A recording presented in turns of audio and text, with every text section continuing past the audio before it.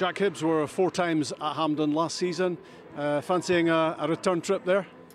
Yeah, very much so. I think I've been I've been always been quite open about the fact that that should be an ambition for us every season to go and win silverware.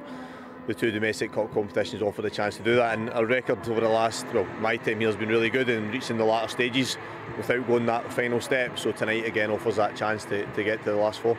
So the plus is getting there, and, and where, you, where you want to move it on is actually taking that step further to finals and winning cups. Yeah, obviously we got to one final last year, but we, we didn't win it. Um, and I think that the consistency we've shown in cup competitions has been very, very good. It gets tarnished a little bit because you might lose the same or you lose the final, and I understand that. But say the cup record, we've, we've, been good for a year and a half now, consistent in that respect. Um, and it's a huge driver for us as a club, me as a manager, and for all the players, is to win silverware for the club. So it's Stevenson instead of Doig uh, tonight, and, and, Scott Allan starts as well. What's your thinking? Well, I think if you take the latter to begin with, I think Scott impacted the game brilliantly the weekend. I think when you bring somebody on at half time, you look for them to do that, and he helped us massively, put us in a winning position that we're frustrated we didn't um, see out.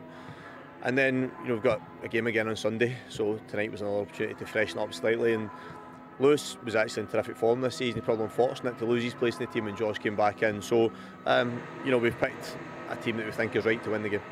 Good luck. Thanks, Jack. Thanks, Rob.